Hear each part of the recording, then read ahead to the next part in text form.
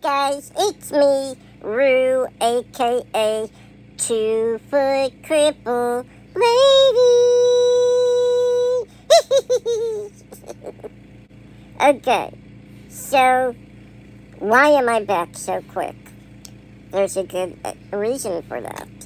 I'm back because I wanted to share with you all the insane 48 hours, almost 72 hours, that me and everyone else who lives in the Ohio region of the United States has gone through. Because, boy, has it been crazy. So, mm, let's see, I think it was three days ago now we woke up to it raining so hard that I don't think anyone ever experienced rain like this in quite a while. At least Ohioans. It was flooding everywhere. Places that never flood were getting flooded. People were stuck in their cars just floating on by like it was a boat. Okay, you know, it was bad, but we got through it. We got through it, we all survived, everything was great. And then, a few hours after that, the rain started to calm down, another area in Ohio, which happened to be the area that my sister lives in, they got what you call a microburst. Now, what is a microburst? It basically is kind of like just a really heavy wind that just hits out of nowhere, and the wind is so strong that um, trees fall down and you can have a lot of damage done. It's almost like a tornado, except no funnel cloud. But anyways, so that hit, and then after that, just like not even, I think two or three hours after that, we got another warning. A earthquake hit. Yes, you heard me right a earthquake hit. And it basically was all within, I don't want to say the same vicinity, but the area was not too far from each other. It wasn't like, you know, hours away from each other. It was probably like, I don't know,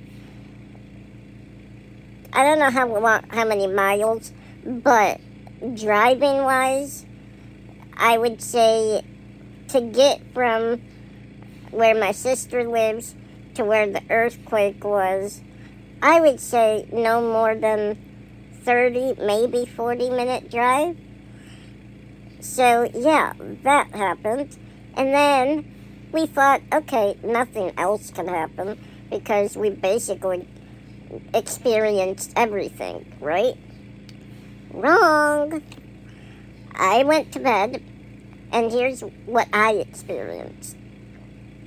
I went to bed and I heard some thunder and I heard a little bit of wind. And I thought, ah, no big deal. It's just a thunderstorm, regular thunderstorm. Easy peasy.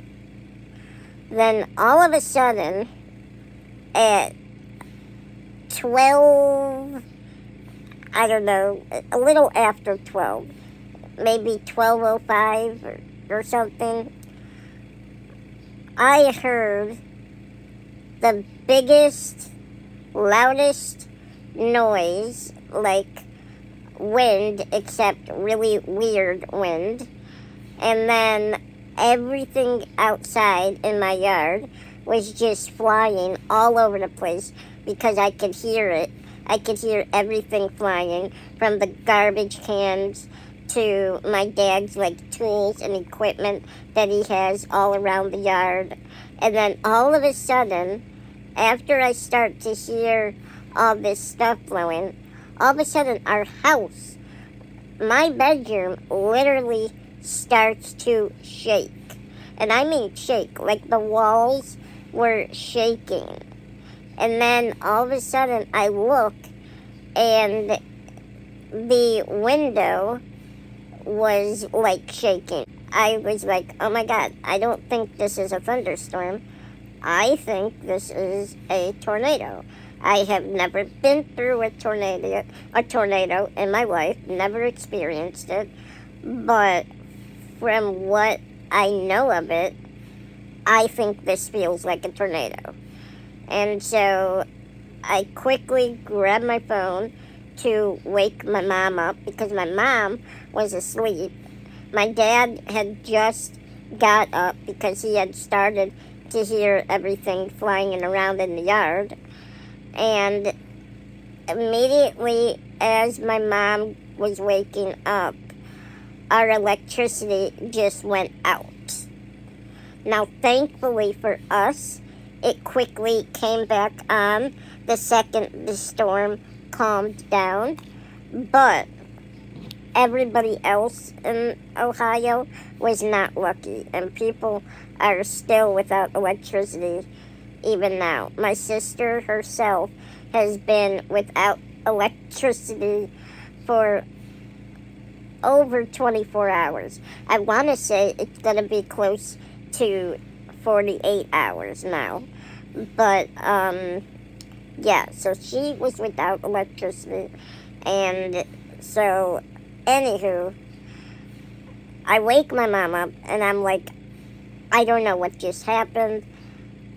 It was the biggest windstorm I've ever seen. I really think a tornado hit.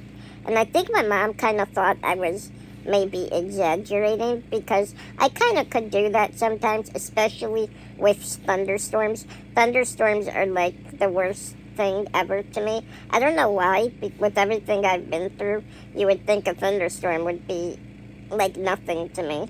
But for some reason, thunderstorms do cause a little bit of anxiety for me. And in this moment, this was like my worst nightmare coming true, especially my childhood nightmares, because I always used to worry when I was a kid and always dreamed about being stuck in a tornado and everyone else was asleep. And that was coming true now. and so I'm sitting here and I'm like, oh, I have to be exaggerating and, you know, just overthinking things. But dang, this felt like a tornado to me.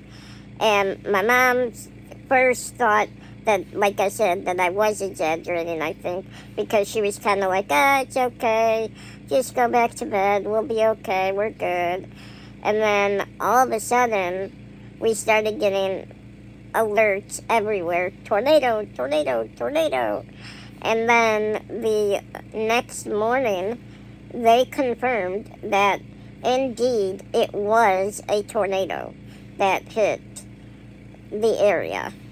And the weird thing is, is it reacted just like a tornado too, in the sense that some things in our yard were like flown all over the place, but then other things were not even touched. Like I said, my dad's tools and my dad's, uh, I mean, and our garbage cans were thrown all over. But a little, a few feet away from that area, we have um, patio furniture, and the patio furniture was not even touched. A pillow didn't even fall over on the patio furniture. So that was just crazy and very mind boggling, but yet wasn't because I've heard that that's what happens during tornadoes. So, yeah, it was crazy though. And it was undeniably the craziest, weirdest felt like I was dreaming. And I'm so mad that my mom was asleep because I'm the only one that pretty much experienced it, at least in my world. It was crazy. So, yeah. So, we had a crazy 48 hours in Ohio. Again, I will share everything that happened. Number one, flood. Number two, microburst. Number three, earthquake. Number four, tornado. And actually, it wasn't just one tornado. There were there were five different types of tornadoes that hit Ohio that night, which was last night. Five different tornadoes. Now, all five didn't hit the area that I live in. We only got one, but the one that we did get was the biggest one, also, which is crazy because the area of Ohio that I live in is more like the city. Well, it is the city. And we live very close to downtown. Uh, so it's just weird because usually it's not, I'm not saying it's not impossible, so no one manipulate my words.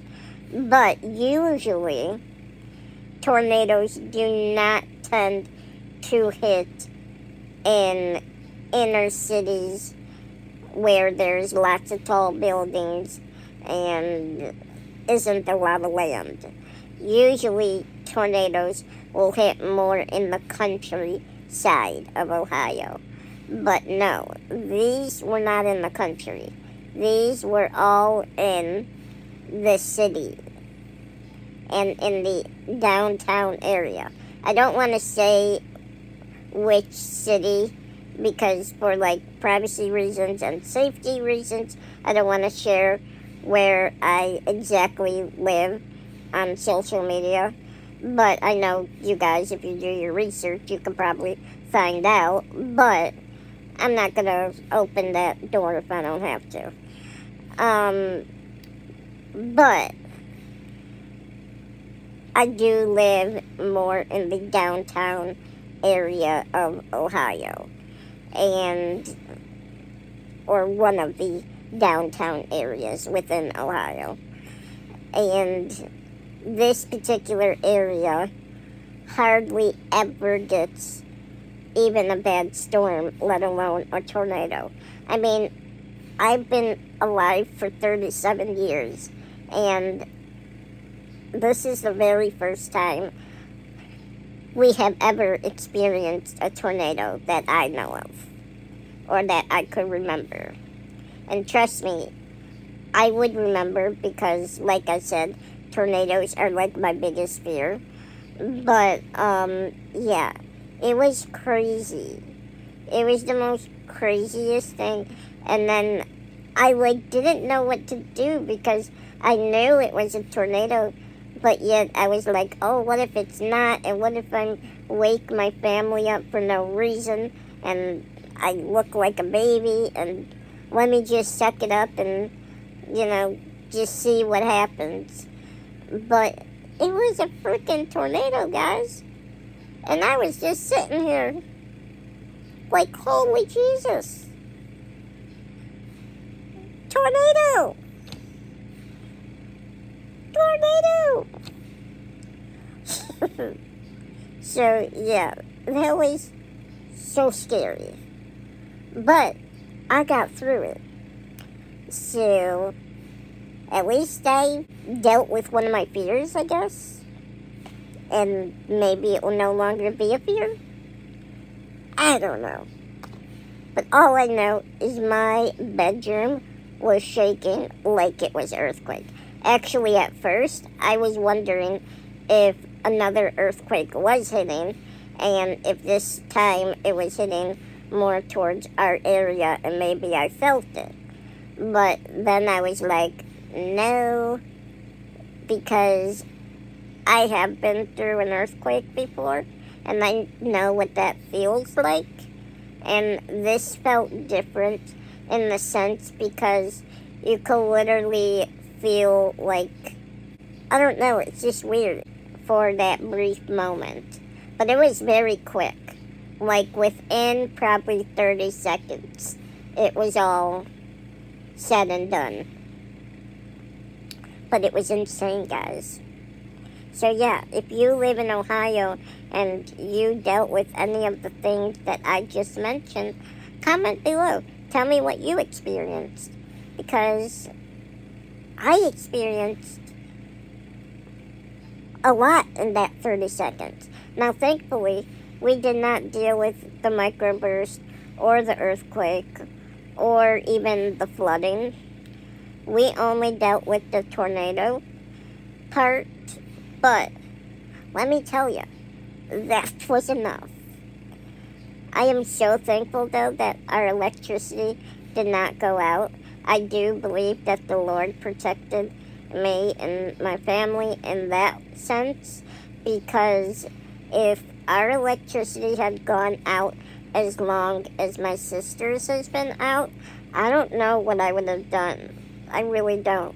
I would have probably have had to go to the emergency room just for oxygen because I know that they wouldn't be able to give me enough tanks to last me 48 hours. So I would have had to go just because of this. So thankfully, our electricity went back on. Thank you, Jesus. Thank you for protecting me. Alright, guys. I just wanted to come on and share what it has been like to be a Ohioan in the last 48 hours. Bye.